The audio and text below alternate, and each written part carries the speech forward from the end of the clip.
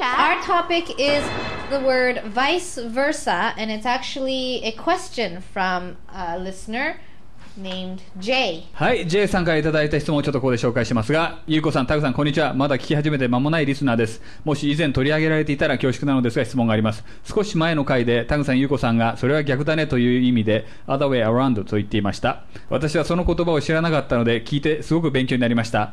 昔、逆という意味で、vice versa という言葉を習ったことがあるのですが、使い方などに違いはありますが、言葉を知っているだけで一度も使ったことがないので、二つの使い方について教えていただけたら嬉しいですということですが、えー、vice versa っていうのは結構つ簡単な使い方だと思うんだけど、そんなに難しいとは思わないんですけれども、when tag needs my help, when tag needs my help, I'll help him, and vice versa. お互いに。Yeah. So タグが私の手伝いが必要だったら、私は手伝う。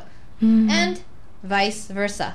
で、私がタグの手伝いが必要な時は、タグは手伝ってくれる。だからそうふたこう繰り返し同じことを言うよりも英語ではもう vice versa って言うとおもう彼も同じことをしてくれる。言い方例えば彼と喧嘩して、Your boyfriend has to try to understand you うん。and vice versa だうん。私も理解しようとするし、向こうも理解しようとする。So exactly そうだから、まあ、意味的にはお互い理解しあん、お互い様。お互い様。お互い様王を理解、お互いそう理解しなきゃいけないっていうのを vice versa って。だから he needs to try to understand you. Your boyfriend needs to try to understand you and vice versa. で、あなたもそうっていう意味かな。So I say to my husband, when you're busy, I'll clean the house. And vice versa. あ。あ.だから、to my husband, I'll say, あなたが忙しい時は私は家事、家のことをする。ー。うん。で、あなたも同じことをしてよねっていうような意味なんだけれども、英語では vice versa。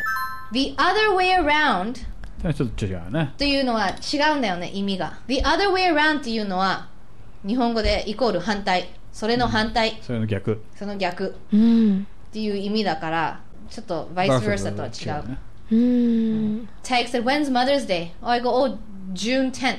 うん。And Father's Day is May 13th. And then Tag says, no, no, no, it's the other way around. あいや、逆よ、逆だよって。あ。うんうんうん。だから逆っていう意味。逆。だから vice versa とは全然違う。ああ、なるほど。